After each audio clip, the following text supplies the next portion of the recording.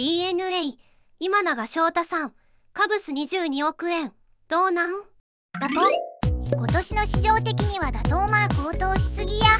問題は何年契約かだロゴ6年かなと予想するけど。メジャー行くだけで年俸10倍。バウアーが確実に発狂する自分より下の人間が契約もらえて自分は成果からない。今長の方が上やろ結局線だとほぼ一緒なのかな。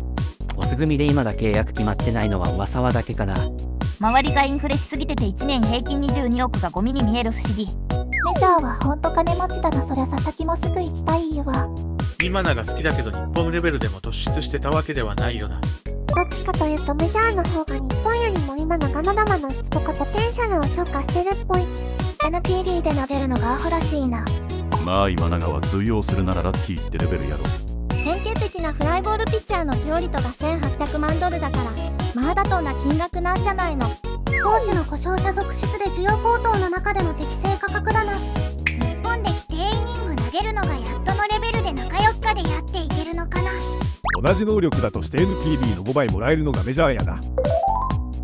ご視聴ありがとうございました。話題の野球情報をお届けしていますのでチャンネル登録をよろしくお願いします